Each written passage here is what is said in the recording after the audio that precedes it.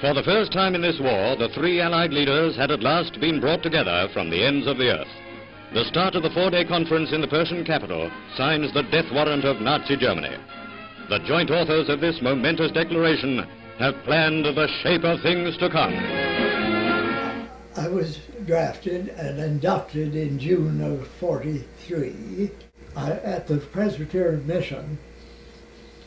They had a very fine library on Iran and the Middle East in English, Persian, and French. And of course, I knew French as well as English. And I said to Dr. Elder, I don't know, I'm a historian, but I'm an American historian.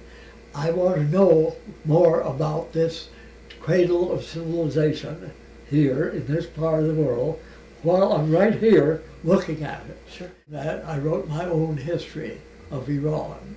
I was told, I was not present here, that at a meeting in the Anglo-Persian Institute, the president of the parliament of Iran uh, was handed a copy of my mimeographed pamphlet, and unfortunately, he could read English, and he read the first page, and I am told that he threw my pamphlet on the floor, jumped on it with both feet, and said, these Americans have no right to write about us like this. Yeah. And immediately got on the telephone to the foreign minister of Iran and demanded that a protest be sent at once to the American ambassador and that this was done very quickly.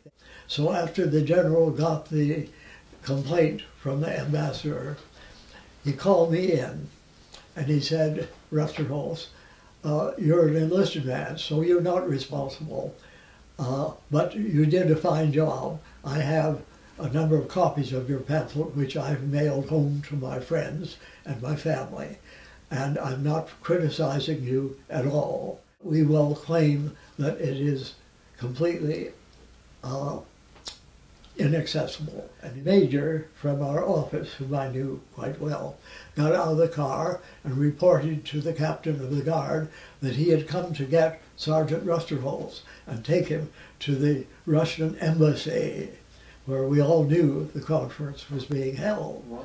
Well, everybody was thunderstruck, including me. Imagine sending a big car with a major to get a sergeant to take him to the Russian embassy. So we went to the Russian embassy, and here were ring after ring after ring of Russian troops surrounding the embassy and the streets. It covered a solid city block. And the streets on the outside of the walls had ring after ring of Russian troops. And we were ushered through those believe it or not, as if I were some great celebrity. And I looked and I saw not far ahead of us a soldier, and on his shoulder was a circle of five stars. Wow. And it was George C. Marshall, Chief of Staff, was ushered in to an inner office where I was introduced to Colonel John G. Boettiger, the President's current son-in-law. I found that when you were in very high places, the people were very good to you, to be, people like me, although only a sergeant, yeah. because somehow they seemed to be able to size up a person, and they knew that I was not an ordinary GI. And out came Churchill and Stalin and Roosevelt. And I was right there. I was so busy looking at Stalin, who was only eight or ten feet from me, that until somebody bumped my shoulder and I looked around, I didn't realize I was literally rubbing shoulders with Sir Winston Churchill.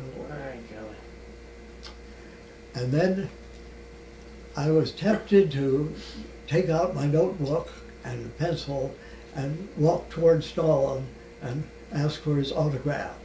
But I wasn't sure that I wouldn't be shot 40 times by the guards if I moved a foot. Yeah. So I controlled myself. And then the president came out of the inner sanctum, and he was leaving for home. And the Secret Service men were wheeling him in his wheelchair. to the top of the steps in this uh, vestibule, and they had laid planks down six or eight steps, which marked the difference between the level of the first floor of the building and the ground outside. And there was a porte cochere there, which was the main entrance.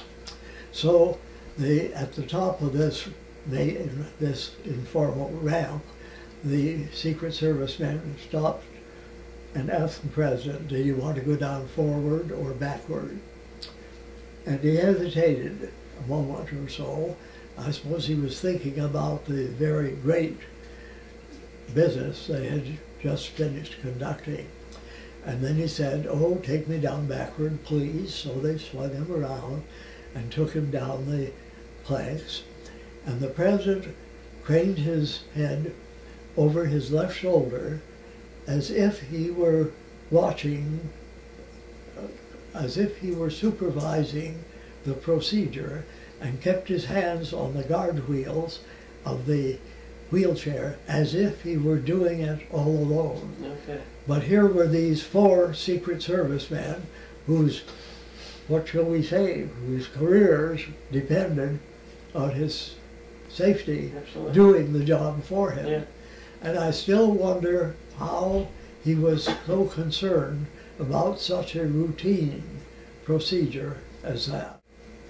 When they got him there, they scooped him up like a great big infant and lifted him bodily out of the wheelchair into the back oh seat of the car, and he did not even take one step.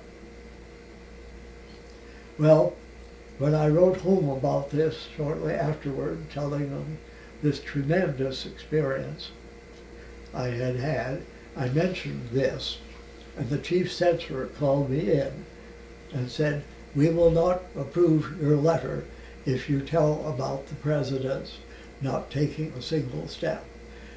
They said that is not permitted for security reasons.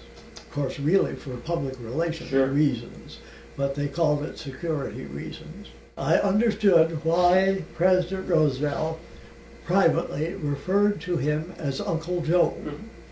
Because, believe it or not, he looked like someone's uncle. Mhm. His face had a pleasant expression. There was nothing brutal or, or what shall we say, malicious about his expression at all. Mhm. He looked like somebody's uncle, a very approachable person. I almost did try to approach him. Behind him came Molotov, the Mhm. foreign minister Mhm. of Russia. And believe you me, if there ever was a man who had the expression on his face of a villain, it was Molotov. A dark, black, closed expression, like Ivan the Terrible might have had. Mhm. He really looked the part. He was forbidding. Just like his pictures, he was kind of cherubic, as he always looked, Mhm. plump,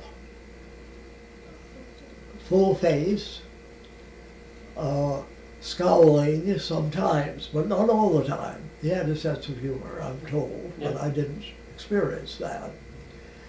And uh, he had a very serious expression on his Mhm. face. Mhm. After all, they've been doing very serious business. And uh, he was pleasant. He was the only one of the big three who acknowledged the presence of us ordinary people there. Mhm. And As he was leaving, he gave his famous sign and he said, Good night, all, Yes.